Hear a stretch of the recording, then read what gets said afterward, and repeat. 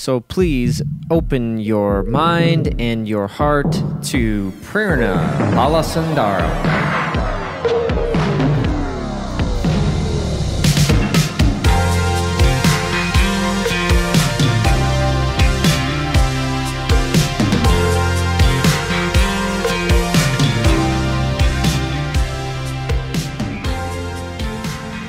You're in. Are you currently in school?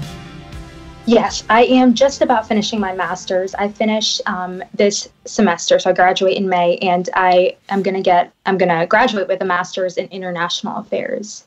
Yeah. What is? What, I mean, what is that exactly? It's so funny that you asked that because in DC, it's like every other person has a degree in international affairs. So that Okay. question's actually really refreshing. um, it's it's really interdisciplinary, and I think that's one of the reasons that it was like pretty easy to transition into doing research about um, genital integri- integrity because um, it just has to do with tons of different topics in international affairs. You can kind of focus more on politics. Um, you can focus on um, socio-cultural issues, policy issues um, that are wide ranging and international. It's it's just it's such um, a mishmash of different things that it's like kind of hard to explain it as one specific major. Um, part of me wonders if I've gotten such a general degree that I have no practical experience in anything. that is definitely a concern of mine. But um, but it was a really really great master's, and you get a lot of great like regional specific um, like uh, fo- like um, academic focus too. So Sure. yeah. So, do you have any specific um, hopes or vision for Mm-hmm. what what you want to do? Um, I would say that it's changed over the course of my master's. So for the first year and a half, I was just focusing on international law in reg- regards to refugee rights um, and um, gender rights. And I think once I started getting more into bioethics and genital integrity, it kind of transitioned into more of like children's rights in various cultural settings. So um, in my undergrad, I learned a lot about. Um, FGC, female genital cutting, and um, Mhm. the way that it was taught was um, specifically focusing on the cultural reasons for why it's done. So it's really easy to transition into learning about um, uh, male g- genital cutting practices, such as routine infant um, male circumcision, because that's America's version of a cultural practice that's taking place um, that has um, both medical and cultural implications. So, in terms of like a long term goal, I think it's going to take a little bit more time to really refine that because so much has happened in the past two years in terms of like different interests that have come up. Um, so, so I'm not 100% sure, but I'm not too worried because um, thankfully there's plenty of time to figure out exactly what I want to do. But I'm really interested in research and children's rights um, and hope to kind of stay in those areas. Yeah. Well, I'm sure if you're following your interests and you know your passions, you'll you'll figure it out naturally. I'm sure. Mm-hmm. Yeah, But yeah. yeah, I I notice how um I like how you say uh, refer to it as you know genital cutting and genital integrity. It, it's Mm-hmm. something I've noticed about people in the community that are kind Mm-hmm. of researching this stuff is like just the way we talk about um, this Mm-hmm. stuff sort of defines how we think of it and like just Absolutely. referring to somebody as being uncircumcised Mm-hmm. you're right away your world is defined by circumcision being a normal Exactly. thing Absolutely. and even the term circumcision just sort of takes away the humanity of it and like Mm-hmm. the reality of you know cutting genitals and Mm-hmm. genital integrity being like yeah that's how you were born you know it's not exactly. yeah so i appreciate that for sure and it's something that i'm recognizing about myself even Yeah. you know yeah. i've been passionate about this stuff and uh, i myself am not circumcised and it's Mm-hmm. it's just something that like even i just i find myself saying it and i'm uh, you know referring to somebody as non-circumcised or circumcised or uncircumcised. Exactly. yeah exactly and it's just like kind of blowing my mind um Yeah.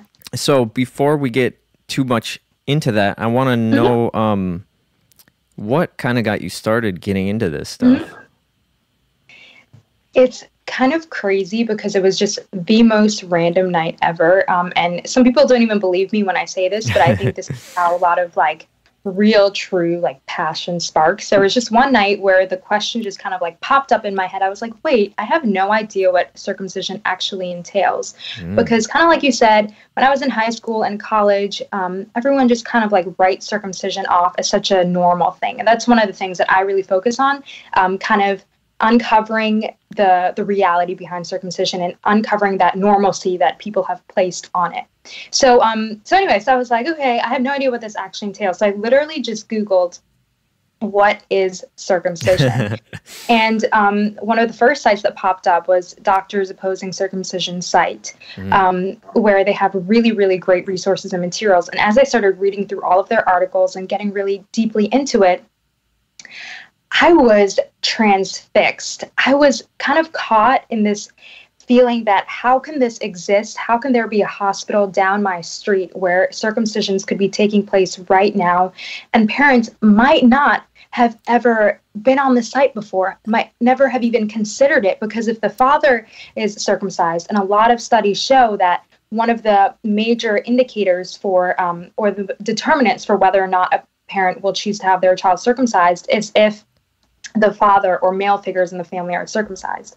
So if parents are walking to the hospital thinking, oh yeah, my like male partner, be it husband or boyfriend, is circumcised, there's no point for me to even research this because this is what I'm going to do. Um, and I was thinking, think about those parents and more importantly those infants those minors that are experiencing this right now in the hospital down my street and i remember like wanting to like leave the house that night like walk to the hospital and go to the maternity ward and say like what do you guys like mm. what do you guys think about this? What are you doing? But it really just started with that one night and i was completely transfixed and i've always been really passionate about children's rights and i um, and i think that areas that aren't talked about much are the ones that we should be talking about a lot. So that's why i kind of just devoted all my um, all my additional time apart from my master's to really focus on this. So that is the story behind it. Yeah that's awesome.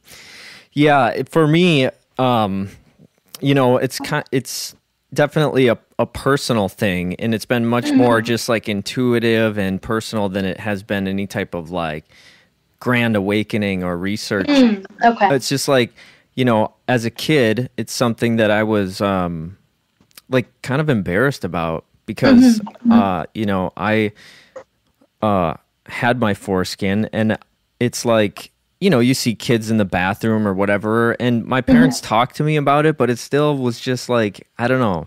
It was just weird, and kids would yeah, make, yeah. kids would make fun of it.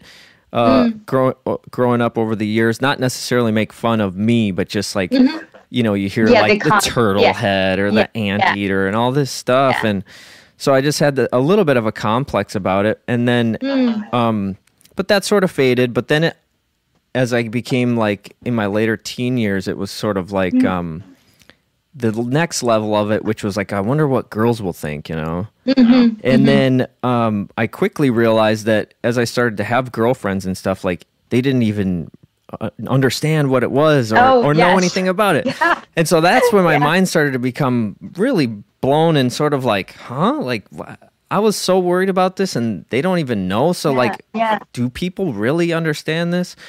Yeah. And then I sort of didn't really think about it and just like I came to really appreciate it and was glad mm-hmm. that I, I, I, didn't didn't get circumcised and all of this. Mm-hmm. Um, and then a, a, couple months ago, um, a super close friend of mine who got really into it for a while um, mm-hmm. sent me Ryan McAllister's video, uh, mm-hmm. the elephant in the hospital, and yeah. then I was just like totally uh, blown away. You know mm-hmm because I just I always knew that I felt like it it mm-hmm. it wasn't right, um, mm-hmm.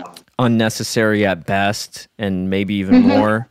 And then when I saw that, yeah, I was really like, okay, this I cannot believe oh, we're still doing this. Like it just blows my mind. Um, and so um, you know you you brought up the the female genital cutting, mm-hmm. and so that is that still currently banned in the United States? So interesting turn of events. It was banned in 1996. Um, all forms of female genital cutting, and um, I've done more research specifically in that as well because um, I took a few public health classes uh, in the past two semesters. And again, public health programs mostly just focus on female genital cutting because that's the other that that's the the othering of this whole genital cutting mm. topic where it's not common here in the US so we can study it as this cultural p- practice that's done far away and we can kind of analyze it as an outsider so, uh, when I was researching female genital cutting, I learned more about the various different types. And um, uh, I'm not sure if you re- you've researched this closely, but just for the sake of no. giving a quick summary, um, there are four types. Um, and this is very general because there are variations on each different type. But type one um, basically involves uh, removal of the labia, and it can be the it's typically the labia minora. Type 2 has to do with removal of the labia and the clitoris. Mm. Type 3 is infibulation, which is the one that is often talked about because that is the most invasive. And that, in fact, um, actually has to do with um, sewing up the vaginal opening, um, as well as potential removal of other sexual organs as well. And finally, type 4 is kind of called miscellaneous, which is kind of silly in a way, but um, it's it's the other types of cutting in terms of just nicking mm. or pricking or um, uh, just smaller cutting gestures.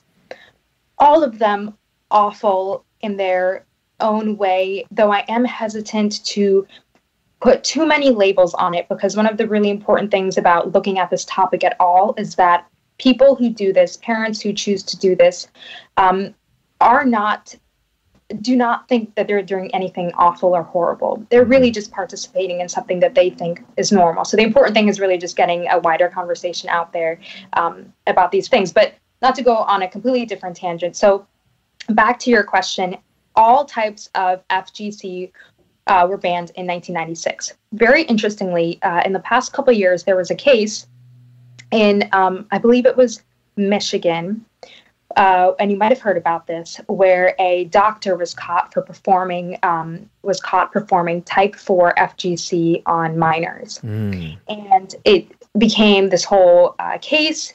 And ultimately, last November, a federal judge ruled that it was unconstitutional for Congress to deem FGC illegal because, um, and it was kind of like um, uh, it was it was a case of conflict between states' rights and federal rights, um, and he ultimately said it's actually up to states to decide whether FGC it should be illegal or not. And in most states, FGC is is banned, but it's not. It's no longer um, a federal ban. But in terms of like the timeline of legality, I don't want to um, 100% say exactly what's going on because I'm not 100% sure if it's like now completely illegal. Sure or it's only based on states, but that is the ruling that was passed in November, which is pretty significant. Yeah. Um, and it certainly has implications because the FGC that um, doctor was perform- performing was actually less invasive than infant male circumcision. Wow.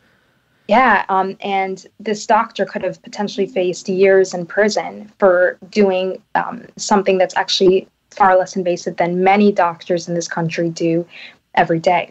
And was that part of the reason they kind of backtracked a little bit to sort of because they didn't want to like the implications of you know full on making that illegal mm-hmm. and putting somebody in jail for it makes it look pretty mm-hmm. bad that male circumcision is happening on a mm-hmm. you know mm-hmm. daily basis. You know, in that regard, um, I believe that that was part of the defendant's um, argument, but ultimately the federal judge ruled on um, a technicality where it uh, Congress was making an in, interstate regulation when um, when this this when Congress is supposed to only make laws um, regarding commerce. So this is really a technicality. Okay. Um, but I do believe that part of the defendant's argument is that what this doctor did was less invasive than infant male circumcision. Okay.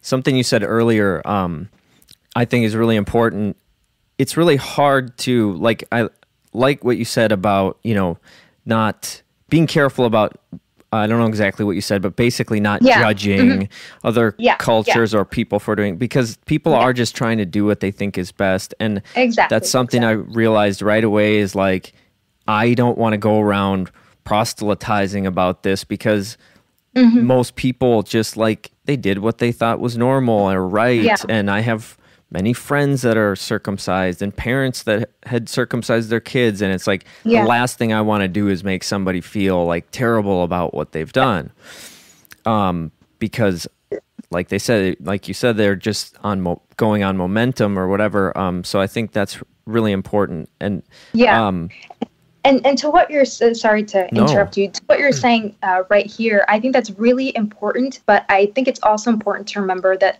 there are uh, there are people you can talk to. So um, I typically try not to share this information with parents who have children who are grown and who probably aren't having any more children anytime soon because to be honest that boat has kind of sailed in that regard the key people to talk to at this time um, are my friends and friends in the healthcare um, in healthcare professions that um, will either work with infants or they are their friends that might have children soon. mhm.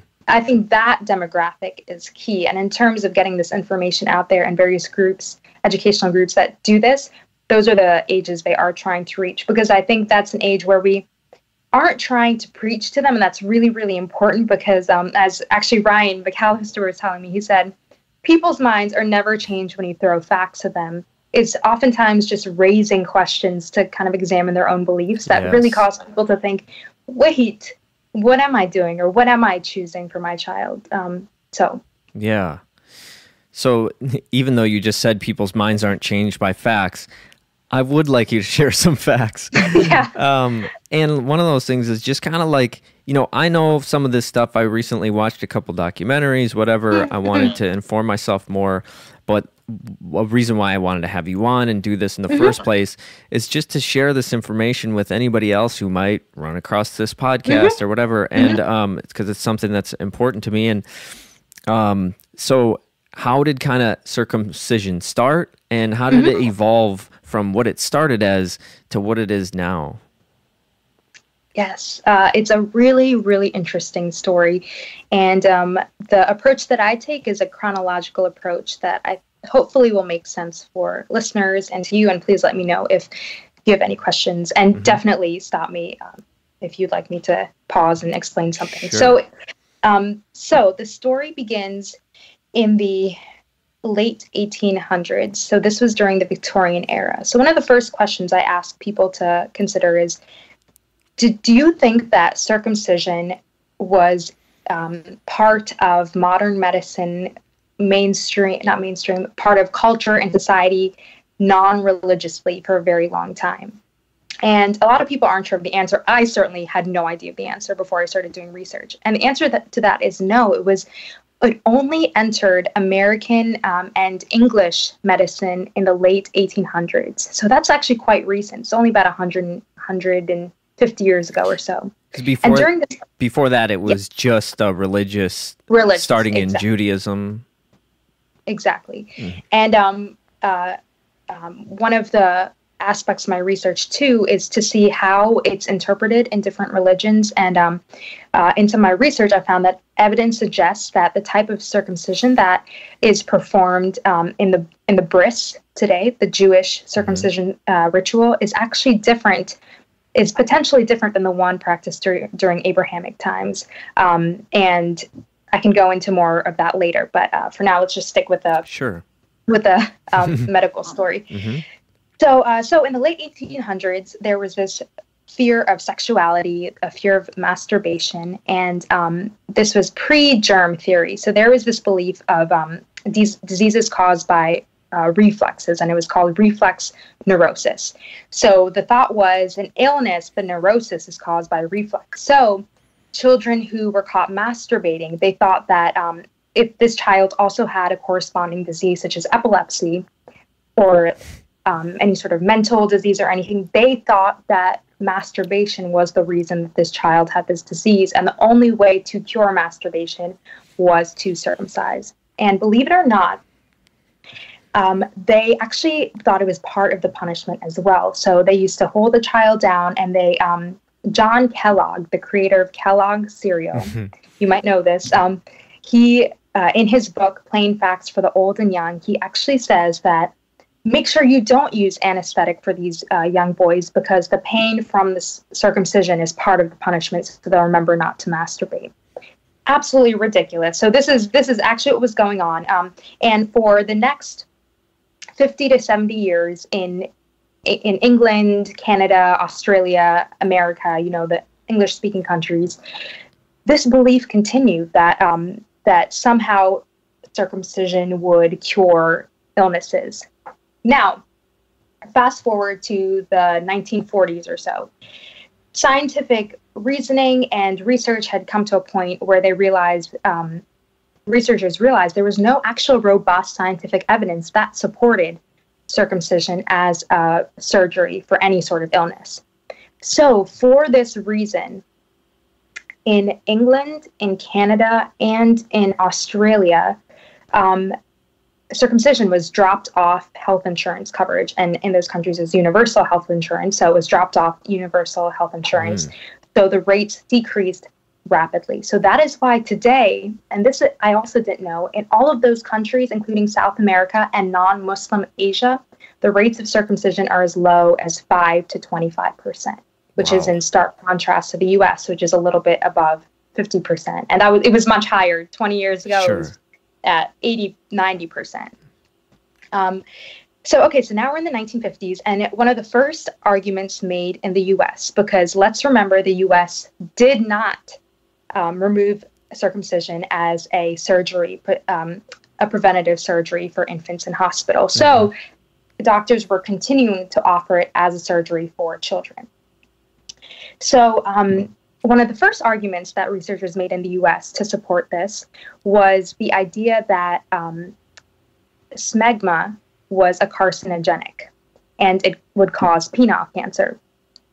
A couple really important things to note here. So, to this day, no studies actually prove this association between um, uh, having foreskin, um, smegma, and penile cancer. That association, that's a strong association, has never been made. And a more recent study from Denmark actually says that tobacco use and hygiene practices play a far stronger role in in, uh, in determining whether or not um, a male will have penile cancer. And more importantly, in both Europe and the U.S., the rate of the likelihood of having penile cancer is one in 100,000. And compare that to breast cancer in this country, which is one in five, or as much as one in four today.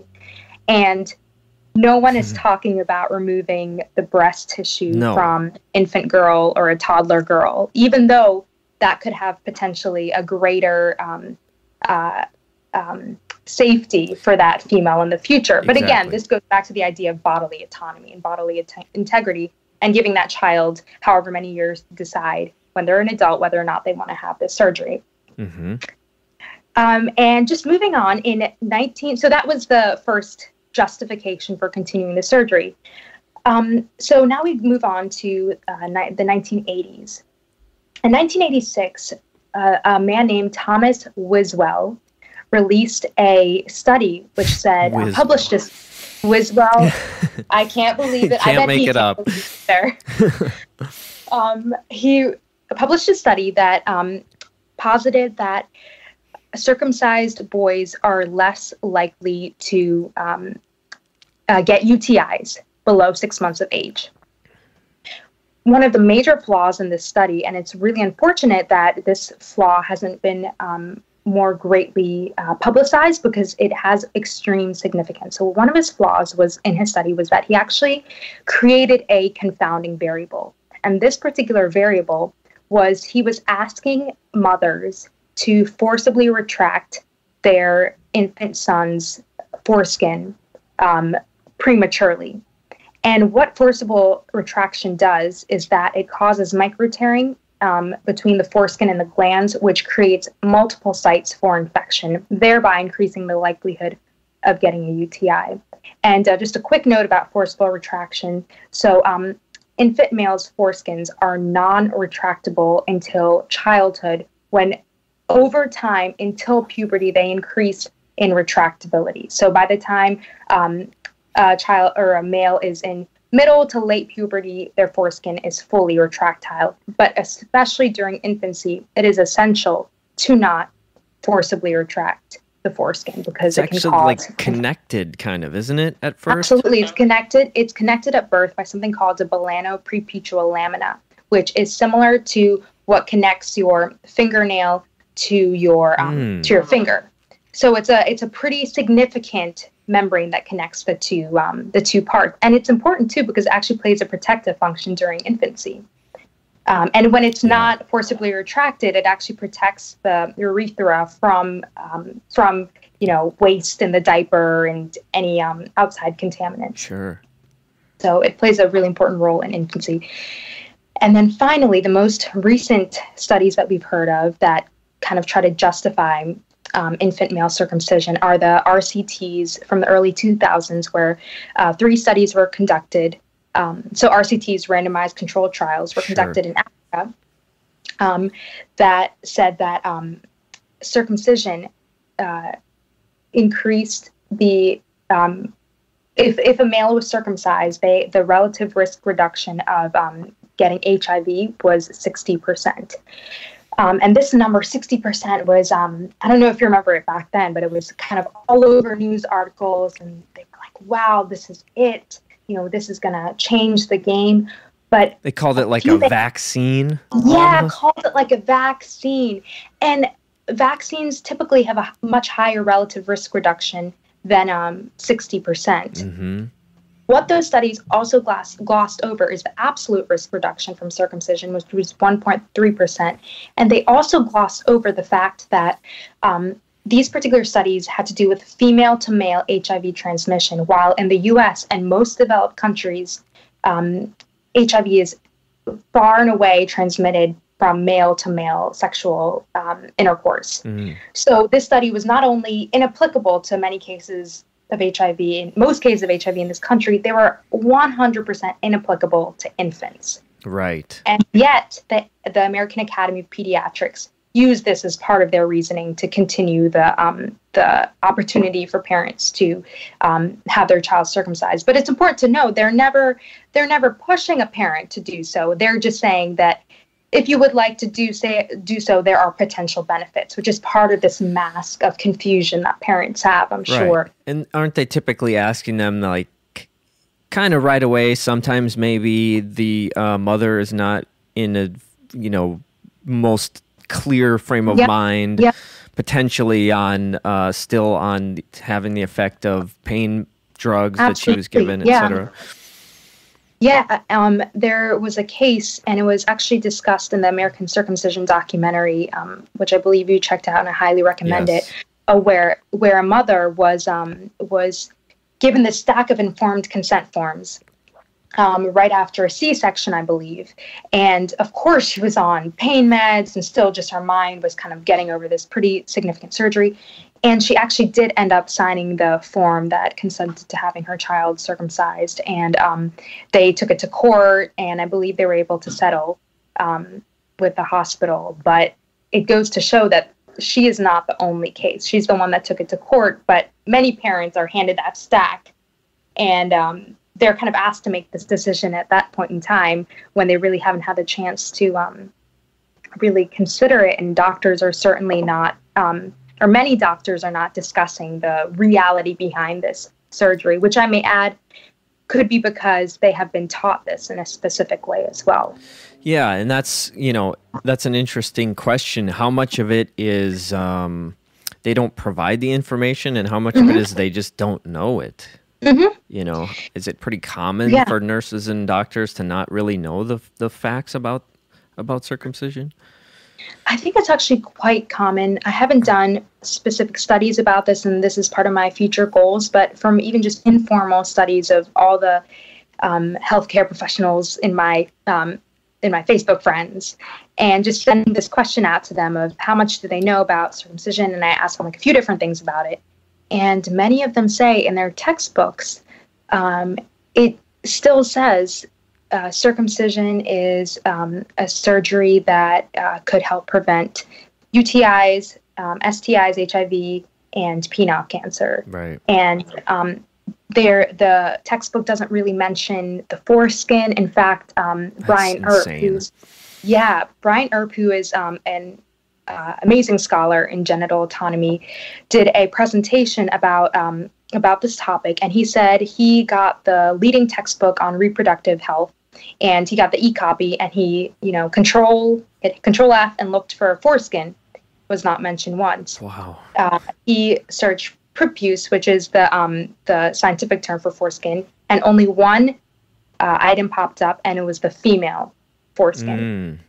Mm. So if doctors are not even learning the value of this organ, uh, they're not thinking about the fact that the removal of this organ is actually a harm. And this is a great point that Brian made, um, and it's one that really got me thinking as well.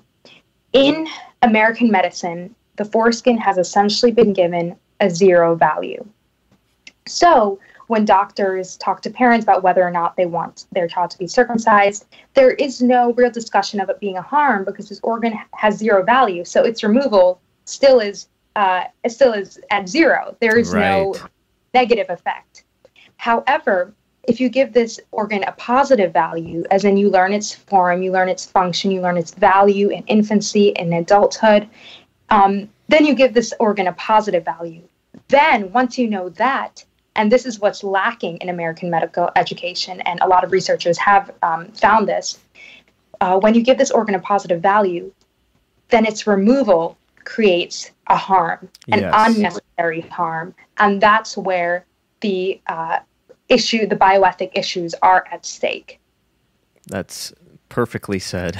um, so you basically segued for me into what I wanted to talk about next, but I wanted to comment quickly on the um, the reasonings because even I, you know, I've s- I've seen a lot of the problems with some of these studies, but like you bring up with the uh, UTIs or with Yeah. sorry with the uh, um, the penile cancer versus the Yeah. breast cancer and not removing um, you know breasts. Uh, it's just even if these studies were very legit and the reasons were clear, it's still like it's most of these things aren't going to happen to an infant or like a UTI absolutely. if it is going to hap happen to an infant it's treatable just like any other infection an ear infection or whatever we don't and and it's cut far babies. more likely.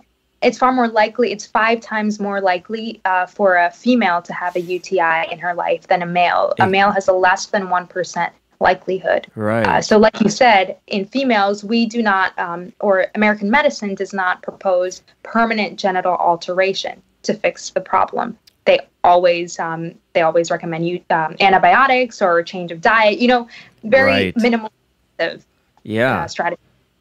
Yeah, and we don't go we don't even consider the idea of modifying or removing any other body part from an infant to prevent Absolutely. some potential future Absolutely. issue. Mhm. So it's just it doesn't make any sense when you really start to think about it. It's just there's a lot of cognitive dissonance, and so that I, I think that stuff is really important. But so what you started to go into, um, which I think is the logical next step here, is like what is the value of the of the foreskin, and beyond just the you you touched on the um, importance for the infant and the um, protection, but uh, what about the other benefits of the foreskin?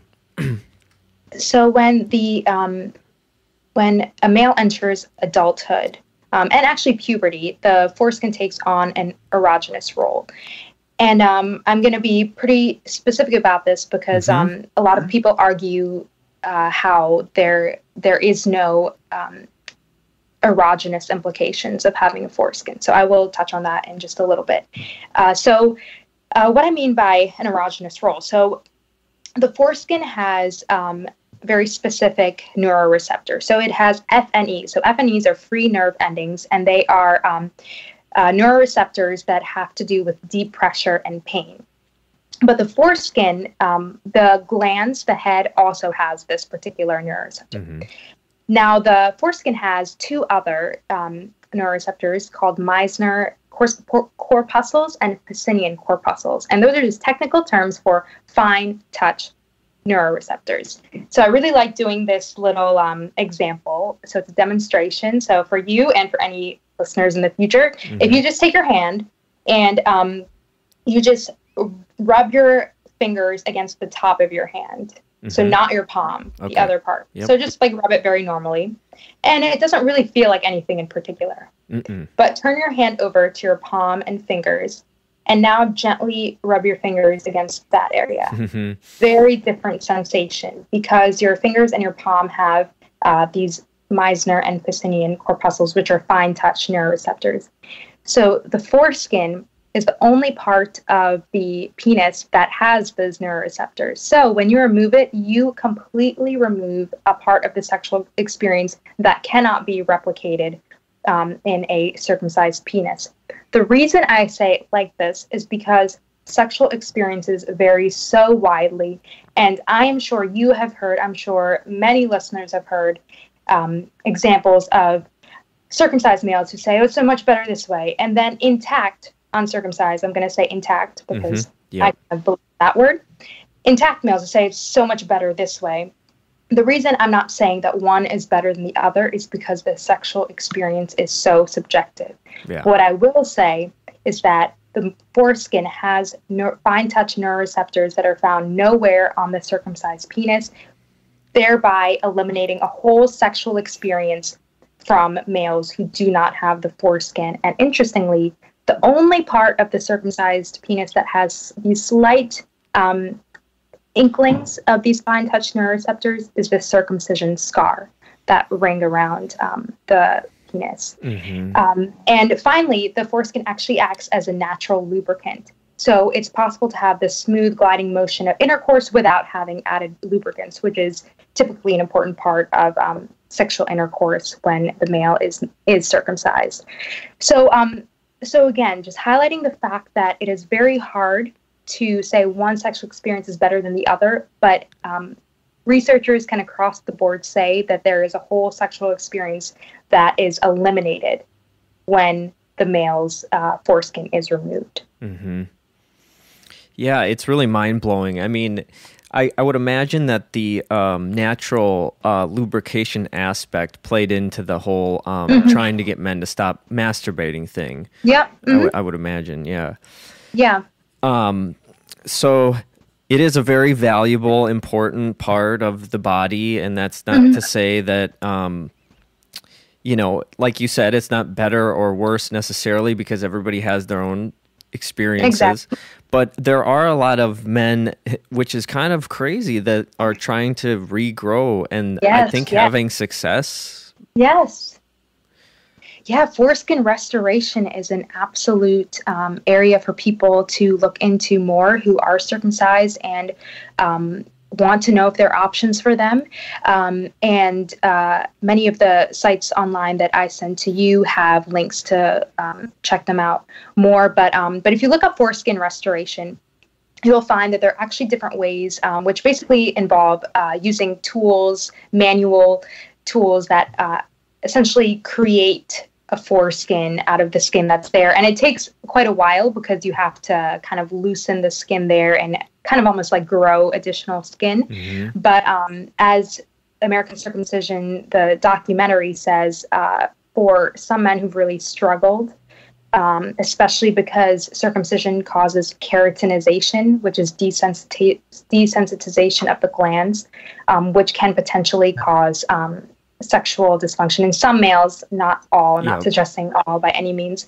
But um, this foreskin restoration can definitely be an option Mhm. for circumcised males who are kind of uh, who want to know if there is something different out there, better out there, um, and just want to know more. Sure. Um, so one of the main things that's really been blowing my mind about all of this, and it, I get pretty far out there with with all of my thinking and my ideas, so forgive me for that. But it's the just the regardless of any of any of the um, stuff about the medical reasonings or the uh, importance of the foreskin or any of that. It's just simply the this the traumatic incident to in, to the infant males in our country, and Absolutely. what potentially even the cultural impacts of that might be. And you see so much um, talk and emphasis on um, on feminism and women's rights and I'm not trying mm-hmm. to downplay that at all by mm-hmm. by saying this but it's just like yeah. there seems to be a massive blind spot in that we're traumatizing like f- close to 50% of the infant males in the country mm-hmm. and um, I think there is even some evidence to show like the brain changes or more intense responses to pain yep yep um, yeah and so it's just like that's the part that really gets me and that like it's like this universal pain that it's we're just inflicting this yeah. trauma on the men in this country and then sort of mm-hmm. at the mm-hmm. same time railing against toxic masculinity and i'm not trying to say mm-hmm. that this is the number one cause of all male uh, aggression and all this stuff yeah. but at the same time it's definitely seems to be a key part of like there's violence happening against infant men every day and that's somewhere where we need to maybe start to try to like yeah. help foster more compassion and more sensitivity yeah. in the male uh, population in the country yeah and i absolutely agree with you in that regard because the um, the trauma inflicted to infants is something i cannot ignore and i hope more people don't ignore either. Um, and this is one of the really disturbing parts about this, is because um, sometimes I get very uh, just kind of sh- shaken um, mm-hmm. by the fact that so many doctors are doing this, even when it's it's um uh, kind of down on pen and um, on paper that infants are experiencing serious pain reactions during the surgery, and yet doctors are doing this. But I think this is part of the normalizing of it. Mm-hmm. So, um, so I think they, even though they might feel uncomfortable doing it, I think they're told, and I, I actually am quite sure that they're told that this is just a surgery that you have to do. Um, this is just a norm in this country. Of course, the surgery is going to be painful for a child. It's just that's what a surgery is. But I do want to take a second here to dive a little bit deeper into the pain responses of infants because I think this is extremely important to mm-hmm. know. And um, I would definitely ask listeners to consider being the infant in this circ- uh, in this position because this is part of um, this is part of like um, kind of empathizing. So um, so in regards to the procedure, the infant is strapped into a circumstraint and uh, it used to be both arms and legs were strapped in, but um, but now it's just legs.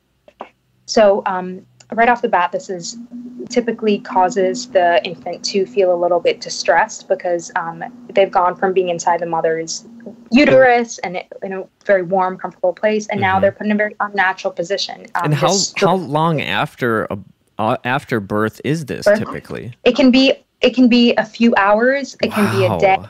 Yeah, a few hours. There are cases where um, a mom is, while she's, she's still recovering from her C section, her child has already been circumcised. that, that is unbelievable. Yeah, so in the first few hours of life, life this can happen. Um, so the next step is that um, uh, they they clean it, but in the process of that stimulation, oftentimes the child's penis becomes erect and um, an amazing pioneer in, in, and the start and the kind of woman who started all of this, Marilyn Milos, um, and I'm sure you've read her work and others might have as well. Um, she said this is potentially the first act of sexual violence that a child mm. experiences in their life because in the first few hours in the first day of life they're being stimulated in this way. Again, not implying that the doctor is trying to do anything inappropriate, right. but just from an outsider's perspective, this is what is happen- taking place. So once the child is uh, cleaned and draped, um, the next step is to uh, separate the foreskin from the glans. And during the separation stage, uh, researchers have recorded that um, some infants' heart rates jump 60 BPM. And um, it's kind of hard to imagine that as a as a person who's not in medicine and science, but basically that is a significant jump in heart rate and shows significant distress. Mm-hmm. Uh, and the foreskin separation stage, uh, the doctor uses a probe to scrape off the balanopreputial lam- lamina and um, uh, separates the foreskin from the glans. Then a uh, cut is made along the foreskin. A bell, a bell-like instrument is placed over the glans, and the foreskin is kind of stretched over that. And then the clamp portion, this is the Gomco clamp. Um, there are two other types of clamps as well, but the Gomco clamp is the most used. The clamp portion is uh, kind of uh, placed over it. A little hard to explain, but um, if you would like to see, there are um, videos available online. Um, definitely important if a parent is considering this. Definitely important to see this. Yes. Um, uh, so the clamp is placed over. A screw is tightened to essentially crush the foreskin and deaden the skin. And then once the foreskin is dead, a scalpel um, cuts off that skin. And I remember for probably the first few months after I learned about this, I had to force myself not to think about this because I kept telling myself if anyone thought about being in that situation, they would not do it. But people separate themselves from what's actually yep. going on and they allow themselves to be comfortable with what's going on. And that's why this has gone on for so long. Um, now, these pain reactions really vary, and some parents even say the nurse brought back my baby and he was sleeping. So, as adults, infants also have variable pain responses. They have a fight or flight response, which is similar to adults. Some adults scream in pain, and some become quiet and pass out yep. because our pain responses vary greatly. It's similar with infants uh, researchers have noted that their crying is significantly different yep. than crying about other things like a dirty diaper or they're hungry. It's a it's very different crying. Uh, there are cases of apnea after after the circumcision where they um, or during where their body essentially shuts down which is their pain response, which some mistake for falling asleep, but it is not, yep. um, because uh, researchers have found that the sleep that they're in is this non REM sleep, which is the unhealthy sleep. We were trying to go for REM sleep. Um, as, as humans, I've heard I've heard that described as like a fight, flight, or like play dead. Like it's the third like survival technique of like basically. That's, that's a really great point. That's a really great point, and um, it could uh, be the infant's survival strategy to just um, almost consider and this is not this isn't me not uh, i'm not trying to present a scientific argument no. here but just thinking about it. Um, it could be the infant just trying to possibly be still enough that it might not happen or it might stop. Um, which is which is something that adults do too i think actually. 100% um, so um, so another thing that happens as well is um, for the hours after the circumcision, even up to 24 hours afterwards, parents have noted increased irritability, increased wakefulness, um, and uh, issues with breastfeeding. So these are really, really significant things that happen during the circumcision surgery. Um, another thing about oxygen saturation, too, there's large fluctuations because some babies are noted as breathing very quickly, and then some actually even hold their breath because that's again their coping mechanism. Um, so there are noted pain responses, and the various anesthetics that are out there DPNB, dorsal, dorsal penile nerve blocker, a ring block, e- EMLA, which is a, um, topical cream. All of these researchers have found do not completely eliminate the pain from circumcision, yeah. um, which as adults adults who have circumcision, uh, who have operations on their genitals, are usually put under general anesthesia. Mm. But infants, uh, especially under six months, can't go under that because of the dangers of going under general anesthesia. So, yeah. in turn, they don't give them anything at all or very little. Sure. Yeah, so the, the I mean the the evidence just stacks up and up and up, and it gets to a yes. point where it's like, how much more do you need? I mean, um, exactly. and I feel like the more evidence I get, the more it just ultimately boils down to this most simple explanation, which is really just like, um, like even if they if those things did kill all the pain, still you're taking an infant away from its mother, which mm-hmm. already happens a bunch in in hospitals, and and that's yes. a whole nother topic in and yep. of itself. Yep. But yes. the infant gets taken away to some other room with other people that it doesn't know, strapped mm-hmm. down. And, mm-hmm. you know, we, I think it's easy to think of infants because they can't talk and they can't yep. do all yep. these things that they're not intelligent or something and that they don't feel things, they're not conscious of things. Mm-hmm. I would argue, and this is just me being a, a you know idea guy, but I would I would argue that infants are probably extremely intelligent in in a like a subconscious reactive way. Uh, yeah. They have ability to sense like their mother or sense strangers, Yeah. sense sense dangerous environments. They get Yeah. strapped down. And I don't know, are you familiar with Gabor Mate at all? I don't think I am. If not, I think you would really dig his work. I'll have to Okay. send you some of his stuff. But Yes. he talks a lot about um, stress in utero. So, like, if a parent's Mm. stressed, they're this much more. A baby is this much more likely to develop ADD during its lifetime. Mm-hmm. If uh, mm-hmm. if the if the birth is stressful, that he just talks about a lot of these different studies regarding a lot of stress in childhood and later developing things like ADD, depression, drug use. He's done a lot of work around addiction and stuff. And I just find it so interesting in that context of like kind of what I already touched on, but just sort of the intense amount of trauma that it must be. And it's such a vital time in the development of Yeah. the infant for the rest of its life, its brain, Yeah. its ability to trust yeah. humans and trust its parents and know that it's not going to be harmed. And it's like you're just sort of violating and dominating it right from day one. And it's. I would I'm just speculating, but it has to have brain impacts and you know ADD, depression, all these things are so uh, prevalent and obviously in males and females. But there Yeah. are, if you look at, there are a lot of statistics that show a lot of that stuff is higher in males. Um, Yeah. and so No, and that's, that's such a great point too about how much infants can um, analyze and even remember. Uh, I think you were referring to the study earlier too, um, where uh, researcher uh, studied the pain responses of infants six months after uh, they their birth, yeah. and um, she found that females and intact males responded far less significantly than circumcised infants. So they're these circumcised infants. You think, oh, what can they think? What can they remember? What can their bodies process? What can their minds process?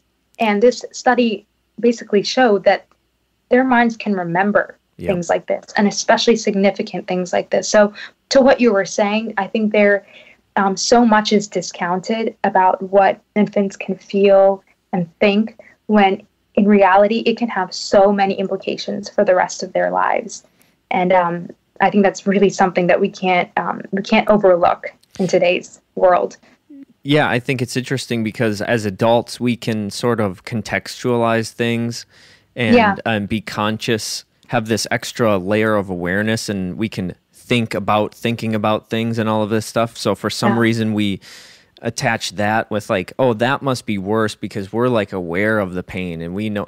But it's like for an infant, that they're just like recording. You know what I mean? Like. Exactly I, don't- yeah, I don't know if how deep you've gotten into this. Uh, I don't know, like year one through seven of a child's life, they're in like delta brainwaves or something, where they essentially are just recording everything into their subconscious mind. So it's like okay it's like, uh, yeah, exactly. Like they're just ultimately experiencing and recording. Obviously, I don't know what it's like to be an infant, but it just Yeah. seems like such an impressionable uh, thing. And I, if we were to imagine circumcising an adult, that in and of itself seems like painful and intense and exactly exactly. And that's why it's usually done under general anesthesia and occasionally it's done under dpnb which is the which are the two injections.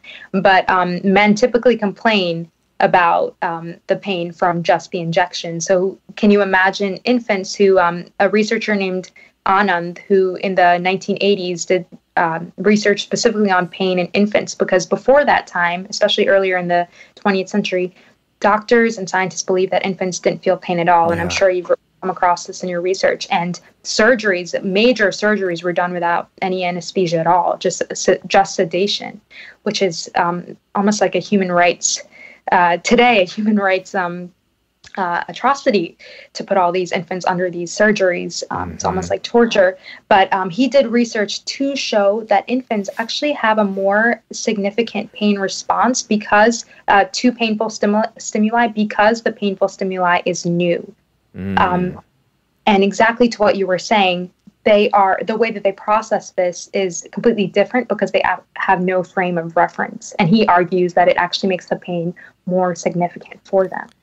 Yeah, it's like the the very first pain they'll ever experience or something, you yeah. know. So um a lot of parents don't seem to care as much about the medical stuff as just the cosmetic yes, sort of yes. thing, right? They want yeah. their their child to look like their parents or their their children's friends. Um, and so at that point, it's essentially like a cosmetic surgery. Yeah. Mm-hmm.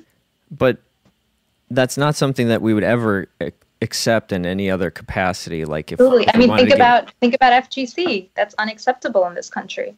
Right. Exactly. And even if you want to get wild and take it a step further, if you imagine giving a kid a nose job when it comes, I want his nose to look more like his dad's or whatever. Yeah, you know, yeah. it's just it becomes really silly. Um, Absolutely, and I think that touches upon um, what really serious ethical, bioethical issues that are at stake, and um, a lot of people in this field, in the field of genital integrity and um, genital autonomy, really speak to three specific um, uh, ethical pillars that are at conflict in this issue. Uh, so, like you were saying, if a parent brings to a doctor um, their child and says, um, you know, I want to have this particular surgery um, done on them, the doctor has to go through this sort of checklist. So, um, first of all, they have to give the parent informed consent.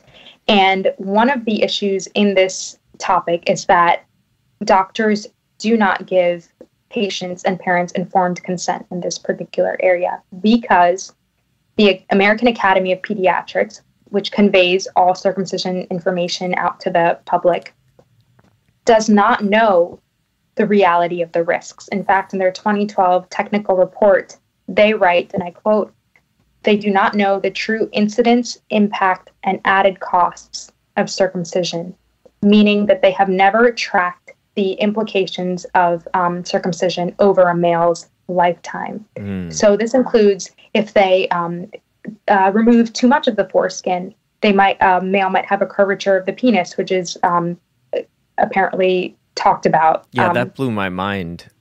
In uh, in males, uh, another some other very serious risks are hemorrhaging, infection, pain is a risk, bleeding is a risk, and in rare cases, death. And Brian Earp recently published an article about uh, factors associated with um, neonatal deaths in relation to circumcision, which I re- uh, recommend to uh, to listeners and to you to check out if you haven't yeah. yet. Um, so, so that's one issue. So, pa- pa- um, doctors aren't giving parents informed consent. So, right off the bat, um, there is a one of their pillars of ethics are kind of um, lacking. Another one is the concept of do no harm. And it's the concept of beneficence and non maleficence kind of combined into one. And just kind of summarizing this, uh, a doctor is their kind of um, whole code of ethics is built on this idea that the first course of action or the, the most minimally invasive course of action should be the first course of action. Yeah. So you do not do harm, especially unnecessary harm to a patient when there is a minimally invasive course of action. So again, if a parent comes to a doctor um, in this regard, even if there were all these issues with like UTIs, penile cancer, HIV, um, STIs, in all those cases, there is a more minimally invasive course of action. Mm. So again, a doctor is kind of going against their whole foundation yeah. to participate in this uh, in this uh, so- socially motivated surgery. And finally, the concept of autonomy. And going back to your question itself, because this is a cosmetic surgery, essentially, um, that autonomy must be given to the individual to participate in this cosmetic surgery. So, um, you know, you might have heard about the rise of labiaplasties in the last few years with um, females wanting to reduce or change the shape of their yeah. labia. However, the however someone might feel about that, you know, they might be like, "That's ridiculous. Why would you do that? Like, yeah. Why would you try to copy, say, like a porn star? Yeah, like, exactly. Why would that be your model for what you want your yeah. body to look like?" but that's still being said. As an adult female, she has the right to do that to her genitals, yep. and she has the autonomy of her body to do that.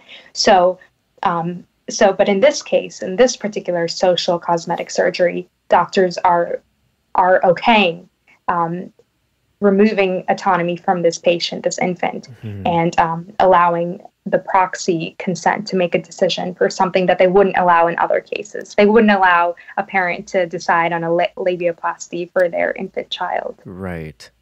It, it's another hot topic, and I don't expect you to even comment on this, but it just popped into my head. It's like, it's just, it's an interesting thing. It's just like an example of like how we can cause so much violence to somebody so innocent like it's like spanking kids or hitting kids you know like mm-hmm. we wouldn't accept going around slapping adults or mm-hmm. you don't hit your friends as an mm-hmm. adult but yet we can hit a kid to try to teach a kid not to hit.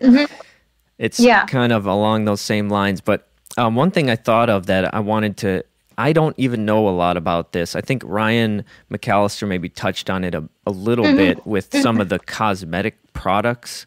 Um, but is there much money in this? Like, is money at all a motivating factor in kind of keeping this going or?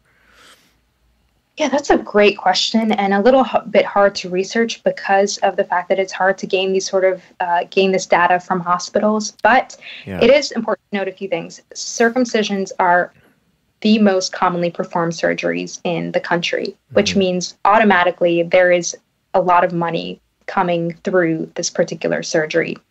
And um, and as Ryan said in his video, and for anyone who hasn't seen, I'll just kind of uh, recap it now. When he went to talk to the head of the um, OBGYN department at Georgetown University, she said that um, as much as she agrees with him or disagrees with him doesn't matter because she cannot stop this surgery in her hospital because of the financial implications mm. for stopping that.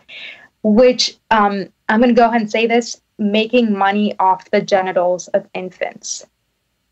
I think that is what's happening. People might take that as a very harsh statement to make, and I certainly don't mean to place blame on people who have hardly heard this topic and have never reflected on it. Sure. But um, I think if you have reflected on it on it for a very long time and researched it very deeply, and can still somehow justify it, um, it is in a sense, take it or leave it, uh, making money off the genitals of children. Yep. Um, Again, I do not know the exact numbers, but it is the most commonly performed surgery. Um, Ryan also touched on products uh, that are made from the foreskin fibroblasts. Um, so after the foreskin is removed, I think some hospitals do usually uh, use it as waste, but um, hospitals can also sell it to companies. And those foreskin fibroblasts are these new cells that can be um, used in um, prosthetics and uh, in skincare. There's one company called SkinMedica that Oprah Winfrey uses, uh, and mm. it helps take away wrinkles. And um, it's kind of their selling point how these like new cells help um, re- yeah. rejuvenate your skin. So again, um, it, it's not it's not the foreskin itself; it's the cells from the foreskin. But again, to the kind of going back to the concept of um, bettering yourself off the genitals of um, a non-assenting child. Yeah, yeah. So there is somewhat of an as you know the. I'm into various topics like this, and mm-hmm. usually when you look into it, there's always some sort of monetary aspect yeah. where there's this industry, yeah. this this force that's like just moving, and it's like that's sometimes the main driver of a lot of these types yeah. of things and and um, going on uh, a kind of similar uh, path, the tools used, the Gomco clamp, Mogen clamp, and the Plastibell, oh, right. are also um, these are the three main clamps used during the circumcision surgery, and um, all of these clamps have their own industry, and um, uh, there are cases, there are many cases specifically with the Mogen clamp because its mechanism is different from the Plastibell and Gomco, and um, it has the greatest risk of actually uh, cutting off the uh, the part of the head of the penis. Sure. And there have been multiple cases, but somehow they are managed to they managed to settle with the parents. So let's not forget that these tools themselves have an industry of themselves, and they certainly have a financial stake in this surgery continuing in this country because it's certainly not taking place in great rates in Britain or Canada or Australia. It's this is kind of its uh, home base yep. for financial operations. Yeah, and that type of stuff it can come across not necess- not very much in this realm, but it can tend to yeah. come across as like conspiratorial or something. But yeah. that's yeah. just the way our world, and especially in this country, uh, yeah, that's the way it works. You know, like yeah, there's industries, and when you look deep, yeah, there's a money motivation, and it's like, yeah. oh, it's our bottom line. Like, do what you got to do to cover up the information or make it look a certain way or whatever it is, just to keep it going. Um, Absolutely. But um, one of the things that you know i don't know if uh, this resonates with you at all but part of the mm. thing that i've reflected on besides all the um, those types of motivations for keeping it going i've thought about it in terms of like well why do we keep doing this just on like a more on a on a larger sense just like and or why don't people want to know about it why isn't it thought about mm. more mm-hmm. um, and part of what I have come to think is that it it would just be so painful for us to really because I know how painful it is individually to like think about it and obviously you've already mm-hmm. expressed like some of the distress that it's caused you and mm-hmm. I just feel like collectively it's such a painful thing and to really realize and feel mm. the, the pain and the trauma we've yeah. caused yeah it'd be so raw and palpable to really look at it that it's sort of easier to just like keep it going and even though there might be cognitive dissonance and and stuff it's just like it's easier to kind of keep it going and let it be in the background than it is to just yeah. like really feel it and yeah, look and look at absolutely. it I really think you couldn't have said it better. I think a lot of people just don't want to reflect on it. Um, I think for parents, there's a possibility that they just don't even think about it because, um, like I said before, they might just have decided it from the get go because the male in the um, relationship was circumcised and that they don't even think about it. But mm-hmm. I think mm-hmm. for doctors, um, there was this really awesome doctor, Dr. Paul Fleiss, who passed away a few years ago. He said that he actually performed multiple circumcisions, and then all of a de- all of a sudden one day, he thought to himself, "What am I doing?" And from that moment on, he stopped performing circumcisions and was a, an, and was an extreme um, uh, advocate um, for boys remaining intact. Mm.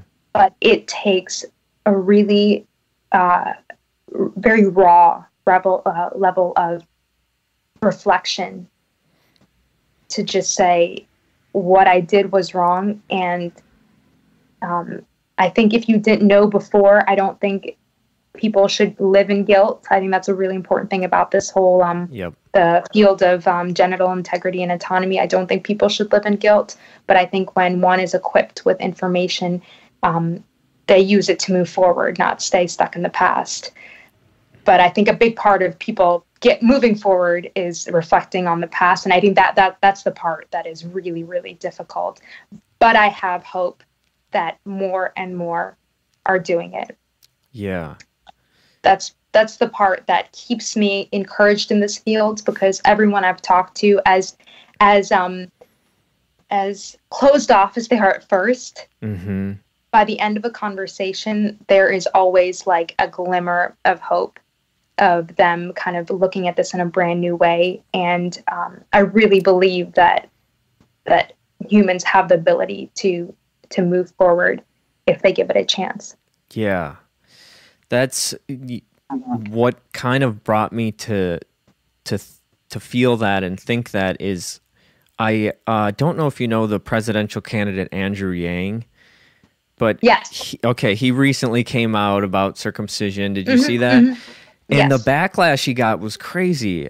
And yeah. I watched this short little uh, thing on Vice or something, and it was this little mm-hmm. talk show and there was um, like four adult people, like two men and two women or something, and mm. and all but one of them was just extremely, and maybe they were just being dramatic for the show. I don't really know, but they seemed pretty sincere, and especially this one woman was like still just like making all these statements about how like sex with uncircumcised men is just bad and like get that out of here. I don't want to see that or like all of this stuff and I was just kind of like, wow, what what is the I mean, I understand if you think there's mm. medical benefits and and mm. you still believe that cuz you haven't looked into yeah. it but yeah. but the real like you know the vitriol or the emotional just like reaction towards it yeah. that's what really got me thinking about it and felt like okay maybe that's just like a defense mechanism from like yeah exactly if i admit this then that means that everything i thought about that is like completely wrong it yeah. breaks down part of my reality and also like causes me all of this pain you know exactly um Absolutely. And I think one of the best ways is to do is to talk about this topic in a non-confrontational way. And like Ryan McAllister has suggested to a lot of the people that he's mentored, um, to just ask just ask people to just think about it, to just like reflect on it. Because yeah. um because like you said, they're gonna come in with their own like facts and reality. But when you start asking them questions that slightly chip away at that re- reality, it allows them to come to the conclusion themselves. And thankfully, many, I think nearly, if not all of the people that I've spoken to, it's been really incredible. Um, by the end of a conversation, I can see them question the reality and kind of give room for an alternate reality. So yeah. I think it is absolutely possible. But when I when I see things like that, it does kind of like hurt my heart to think like wow, do people like um do people even really think about this? But like you said, people do have their own realities and they do feel that their reality is the one that's correct. Um, yeah. And uh, those are the people that we really can't, you know, aggressively confront. We got to give them that time to um, to reflect on it.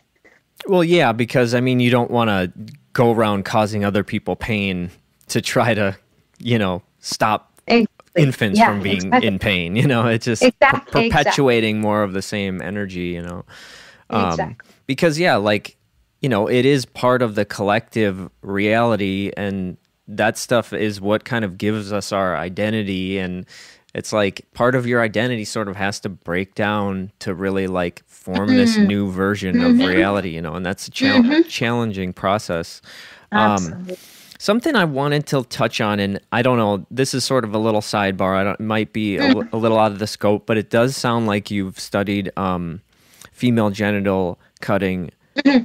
uh, so I'm curious.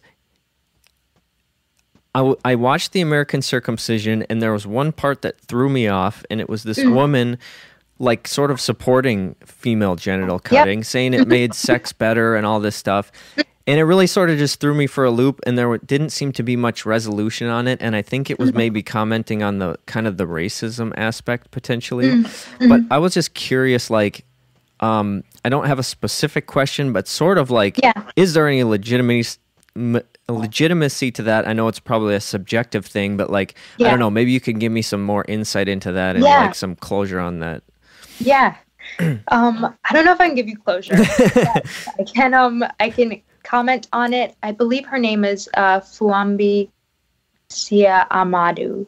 Okay. And um, please, um, I apologize if I've said it incorrectly, sure. but I know exactly who you're talking about. And um, uh, I've watched some of her other interviews, and she's definitely a very um, like cool, unique woman. Mm-hmm. Uh, she's actually an anthropologist, which is uh, really cool. Mm-hmm. Uh, so her argument had to do with uh, kind of the argument we're making in general, which is she believes that adults, ad- female adults, should have the right to undergo female genital cutting, um, yeah. either in a social or medical context, because um, as an adult, that is uh, your right. And her next argument was that at first she was very nervous because from her previous sexual experiences before she underwent the um, procedure, she was very happy with them and she was concerned that that would change and it would be bad in the future. But she later found out after the procedure and after she healed that um, sex was actually better. And that was the point that she was um, she was saying that it wasn't a bad decision to have her um, external uh, the external portion of the clitoris yeah. removed because yeah. the point that she made and other researchers make is that um, most of the clitoris is actually internal, but Yep. there's a small portion of it that's external. That was the part that was removed. Um, so I think her overall point is that as an adult, if you want to participate in a particular social custom, you should have the right to do so. Um, an organization called Muslims Against Child Circumcision make a similar argument as well. Yeah. Um, there are some Jews that make that argument as well. Um, and I'm not sure if this brings anyone closure, but I think in terms of any body modification as an adult, you technically do have the right to do so. And um, I guess some areas that should be worked on is increasing the levels of informed consent of adults in some of these communities where it's kind of like peer pressure to get it done Sure. versus them actively choosing to have this done. So there are definite ar- definite areas to work on in that regard. But from what I saw in the documentary and from what I saw in her other interviews, that is the overarching point that she was trying to make. Yeah, that makes sense. Um, and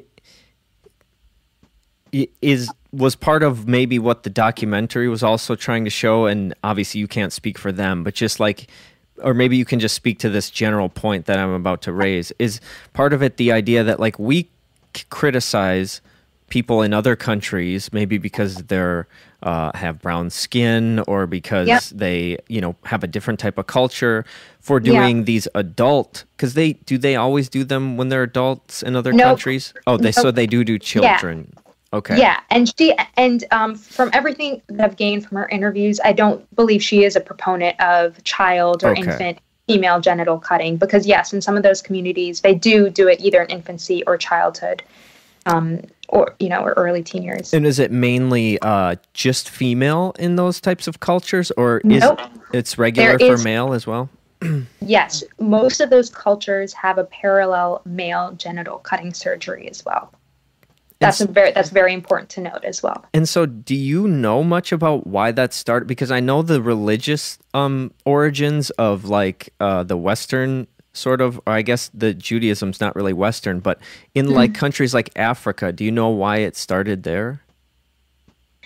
Um, so from reading a World Health report, a World Health Organization report um, that came out a few years ago, they said that actually it uh, circumcision was found on ancient Egyptian hieroglyphics. The first, um, the first representations of it were actually found in ancient Egyptian hieroglyphics. So I actually think that um, that, and again, I uh, please no one take this as uh, 100% exactly what happened, but I hypothesize that um, um, this particular type of circumcision could have happened even before um, Abrahamic times, Sure. uh, depending on how you believe um, history is. Uh, you know, to place back then, but Yep. it was found on these in these hieroglyphics. So, um, in terms of African culture, it could have been passed in that regard over the years. And Mhm. again, those cultures, the very beautiful and diverse cultures in Africa are so um, like so ancient compared to you know America's culture, which is very young in comparison. Uh, so I do not know 100%, you know, right when it started, but. I did read um, research as well that said that uh, Christians in some of those communities started practicing it when their Muslim counterparts were also doing it for religious reasons. So it could have kind of interwoven itself religiously as well. Sure. Um, so, but I'm not 100% sure of where it started uh, in Africa many, many, many years ago. And- And, also um, in, in, in Asia as well. Let's not forget that too. Okay. And uh, maybe you could comment on this quick, just because I thought it was interesting. Is that it seems like a common misconception that like uh, Christians believe that um, circumcision is uh, like in the Bible or it, it, that Christianity promotes it, but that's not actually true, right? Absolutely. That's 100% um, untrue. Uh, and to anyone out there who thinks I'm trying to tell them all these things, please know that a year and a half ago, I was also 100% unsure. If you said, Yeah. is, it, is it a requirement for Christians to be circumcised? I'd be like, yeah, I had no idea. But um, so the, the truth is that um, in the New Testament, there are multiple verses, verses upon verses, where um, both Jesus and Paul, his um, his uh, Paul, one of the apostles after Jesus, and Peter, one of his disciples, hmm multiple instances where um, they say that circumcision is not at all a necessity. In fact, when you um, circumcise, you're trying to perform an act um, to gain grace from God, to gain forgiveness from God, when in reality, no act is needed to um, to receive that grace and forgiveness. Like that was the whole point of sending Jesus to the earth. Right. Um, and that was the whole point of the New Testament. You don't have to do anything to your body to um, receive that grace and mercy. Mm. So, a very important point. I will be completely honest. I did not know that a year and a half ago. So, yeah, I completely understand if many Christians in this country are unsure. Yeah, and I I had also saw that potentially the original um, Jewish circumcision was. I, you'd kind of mentioned this a little bit earlier, but that was potentially quite a bit different, where it was just like yes. the tip of the foreskin that was being yes. removed. It was called bris milah, coming from the Hebrew word mu'al, which means to blunt. So it meant that they took just that very, very small portion of skin um, past the glans, so that very tiny bit of skin. And if there was no skin there, they would even just nick it. If there was mm. no skin there to cut off, they would just nick that skin. Um, but in uh, approximately 100 AD, when the Romans conquered the Jews and the Jews were kind of integrated into this larger culture, there was but there were public baths, there were sports with nudity, and Jewish men. Um, evidence suggests um, that Jewish men started pulling on their foreskin basically yeah. to match to match their um, Roman and Greek counterparts. And um, the the rabbis kind of learned about this eventually, and over time they created this second part, which is called bris periah, which means periah means the uncovering. And um, this is when they actually, uh, you know, remove the, the complete foreskin. And the final step actually was is bris bris metzitzah, which um, actually involves sucking the blood yeah. off of the infant's genitals. It is now only performed by Orthodox Jews, and even um, in New York, you might have heard of those cases where those infants contracted herpes. Yeah. From um, the bris mitzvah taking place, and they actually passed away. Um, but typically, uh, a glass tube is used to kind of uh, get the blood that falls off the child's genitals. But there, it, it's it's now today a three part process, but in Abrahamic times, it was suggested that it was a one part process. Yeah, and is there evidence that it was happening to adults at that time? Like that it was practiced when a person was an adult, not to infants? Um, I believe it was always on the eighth day. Oh, okay. And um, a Jewish scholar can 100% correct me, but I believe sure. one of the most important components of welcoming a male child into the Jewish community is that it's performed on the eighth day of okay. life. Okay, gotcha. Yeah, that's that's wild. Um, so they actually intensified it because these guys were basically trying was it sports related or something is that right i think just um yeah baths were public at that time sports there was a lot more nudity in sports back then it was just culture was different it was you saw the genitals a lot more often sure um so i think just in order to fit in um there could be various reasons yeah uh, jewish men began doing this so, is there any other stuff um, that you can think of or that you've been digging into that we haven't touched on already? I actually think we covered this so extensively. I'm so impressed with the vastness of your knowledge and your questions. Oh, wow. Um, yeah, I mean, you truly have kind of covered everything. I guess the the one kind of thing to close off on as an encouragement to parents who choose to um, keep their child intact. Um, it's at first, depending on which doctor might you go to, it might feel like you're kind of against the odds, but in reality, it is so easy as long as you have the information. There are great resources online. The most important thing to remember when your child is an infant and a toddler is just leave it alone. Clean what is seen is what you'll find online yeah. when you um, look into it. Just um, don't forcibly retract because sometimes that can cause serious enough issues where um, some sort of surgery or some sort of intervention might be needed, which is not necessary at all. Just leave it alone. Just let it do its natural thing. Just clean what is seen with um, water, maybe a mild soap, and um, the body will just naturally take its course as the child gets older. And um, it's going to be as easy as anything else. As a female, I think yes. females have much more work to do to keep ourselves clean and to keep ourselves like away from infection. So um, whatever anyone might tell you that it's going to be harder, I promise you that all the literature out there and um, really, really, really educated people on this topic will tell you it is as easy as anything else. And after your infant is born, there's no special care needed because um, a circumcised infant will need very, very, very specific care because they're going to be experiencing pain and they're going to you're going to have to keep that area very, very clean. Yeah. But that is not the case with your intact child yeah, baby boy can poop all over his diaper yeah, and yeah. no big deal. Absolutely. And, not a big deal whatsoever.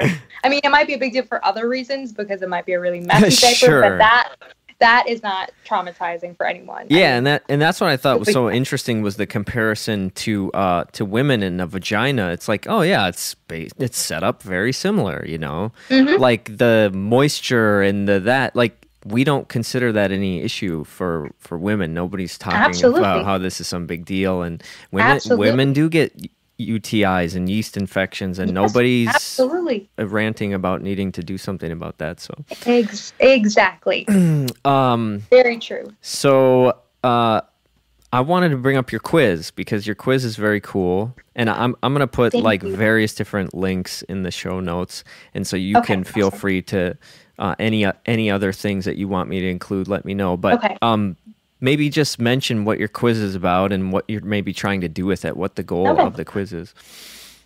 Yeah, I just uh, completed creating an educational tool, which is currently in a Google Forms format, and the purpose of it is for just anyone who has asked a question that I asked a year and a half ago, which is, what do I actually know about circumcision? Um, and then go ahead and take this quiz. And very important to hit view my score after you complete the quiz because only then can you see your score and more importantly, see the feedback for any of the questions you got incorrectly. Um, and the purpose is truly just educational. It's anonymous, so don't think that me or anyone is ever going to know that you took it. Um, so have a clear, um, clear mind there. Sure. And um, we're also going to be putting it on sites such as Doctors Opposing Circumcision and getting it on other um, genital integrity sites as well, so that anyone who goes on that site might just want kind of a quick introduction to what they're going to be getting into. So that can be just a fun way to do it. And um, the next step is also to create a BuzzFeed community post. And once I have that, mm. I will also send that over to you as well because, um, again, BuzzFeed is a great way to non confrontationally uh, just get some questions out there and just ask people to just think about things that they haven't thought about before.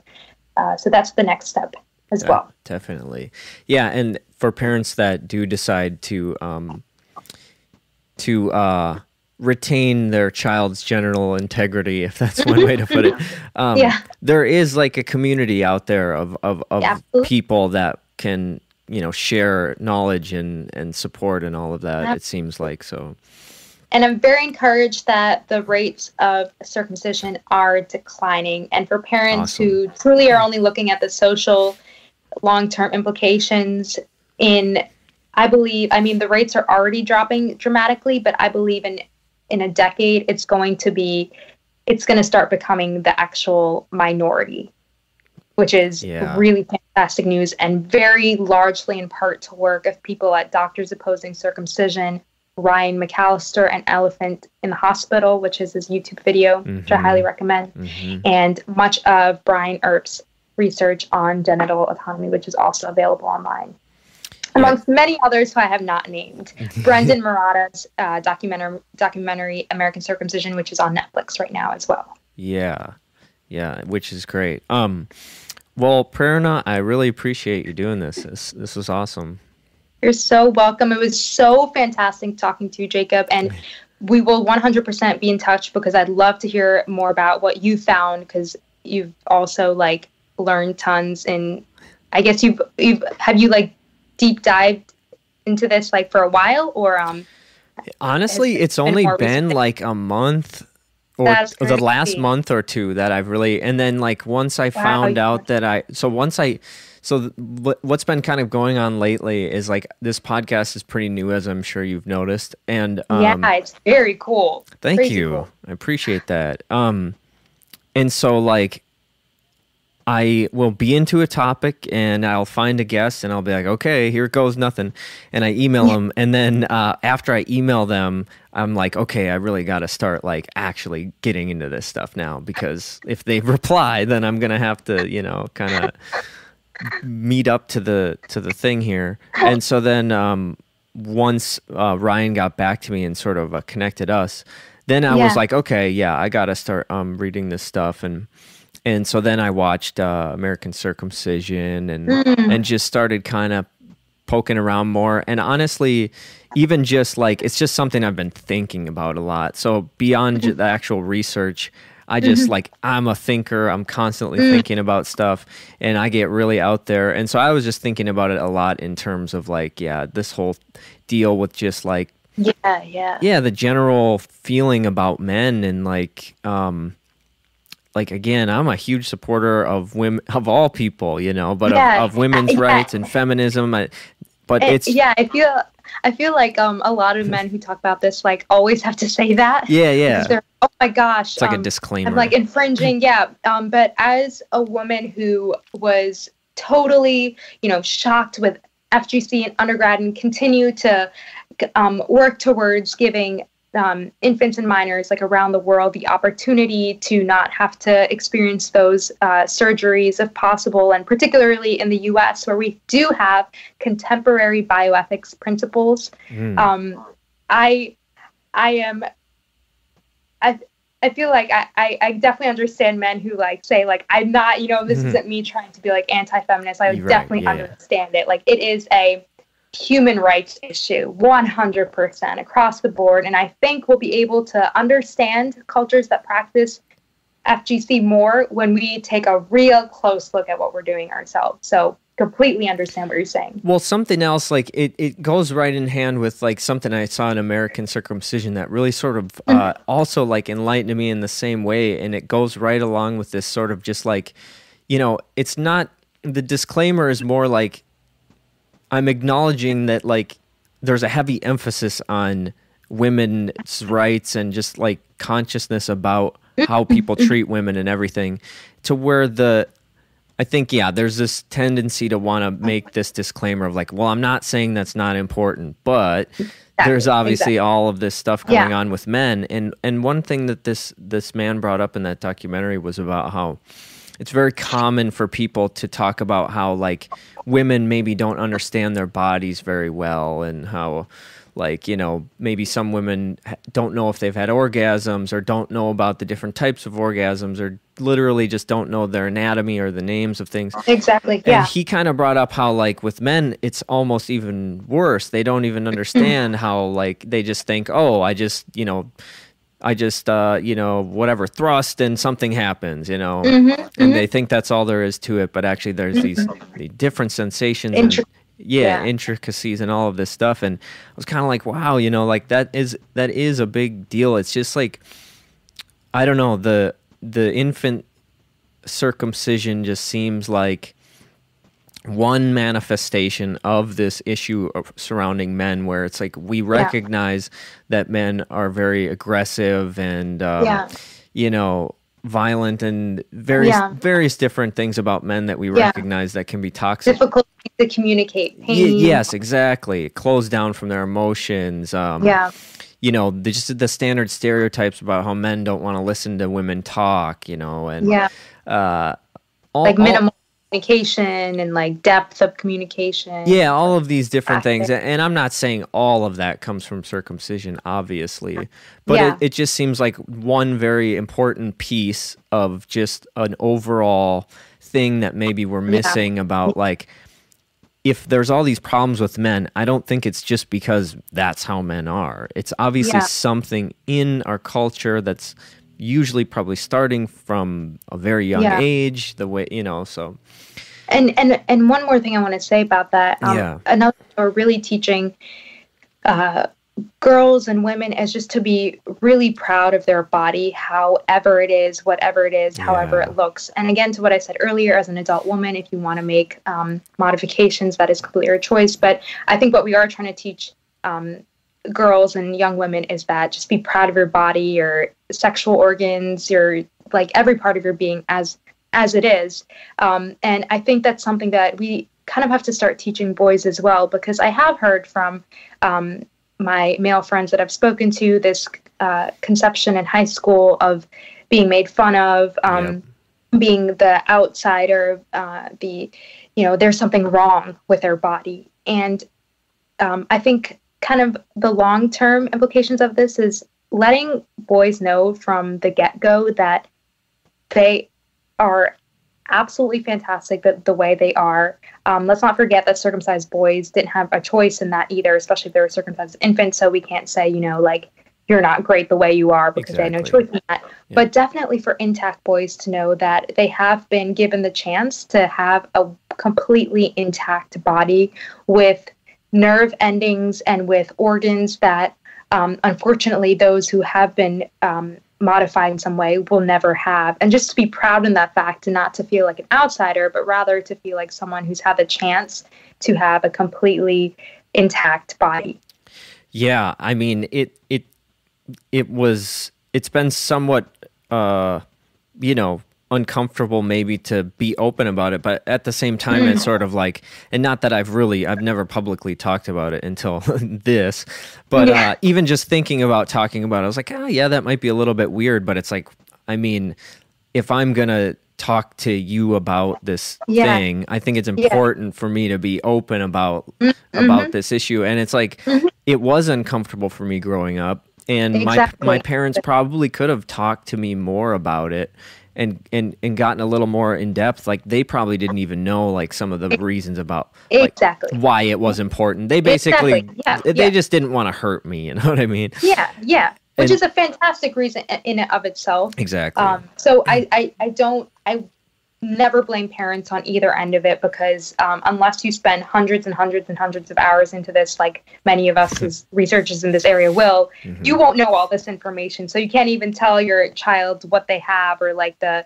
the benefits of having a foreskin because you might not even know yourself. But yeah. um, but as we as we enter this era of of social media and communication, um, it I do want to get this information to um, you know, young males and females out there that having the opportunity to have an intact body is really like an amazing thing. And if you don't have that, it wasn't your choice and it's certainly not your fault.